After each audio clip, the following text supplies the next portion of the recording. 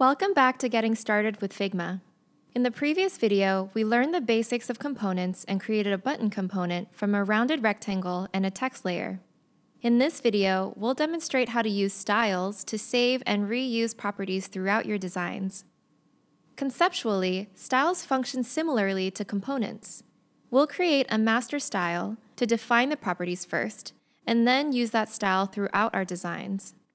When the master style is edited, it will update wherever it is used in your files.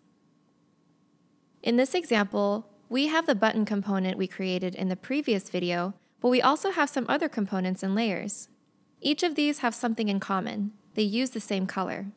It's common to have a system of components that use the same brand colors, typography, effects, and more. Styles can help you keep your brand consistent by preventing deviation from approved brand guidelines or your company's design system. But when you want to experiment or explore other options, like trying a new primary brand color, it would be time consuming to edit each element using that color individually. Changing the color of our button's background won't affect the other elements using that color, but with styles, it can.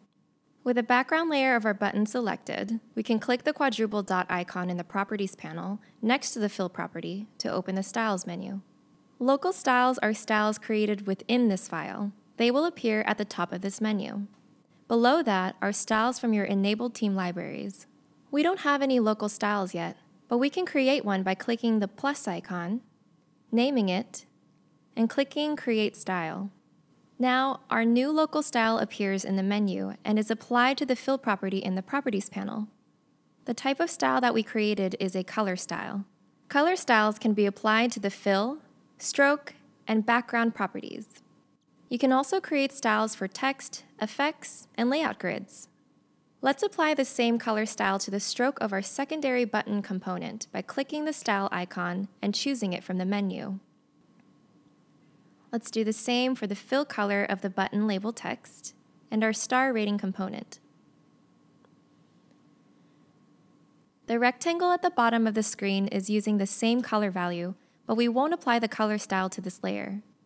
If we deselect everything by clicking on the canvas, we can see our local styles in the right side panel. If you hover over a style, you can see another icon appear, which allows you to edit the style. As we change the color of our style, you can see that all layers where that style is in use reflect the changes and are updated in real time. Even though the rectangle at the bottom of the screen had the same color value applied to its fill, it isn't affected when we edit the style since we didn't actually apply the style to it. Using styles allows you to quickly experiment with alternatives throughout your entire design file. They can also help you keep your brand consistent by making it easier for designers to know which colors and text styles are pre-approved. Publishing our styles to our team library lets anyone on our team access the styles across our files. When a new designer joins the team, they'll immediately have access to those styles on day one. In the next video, we'll show you how to publish your styles and components to your team library. But if you want to learn more about styles, check out the article on our Help Center in the description box below. Thanks for watching!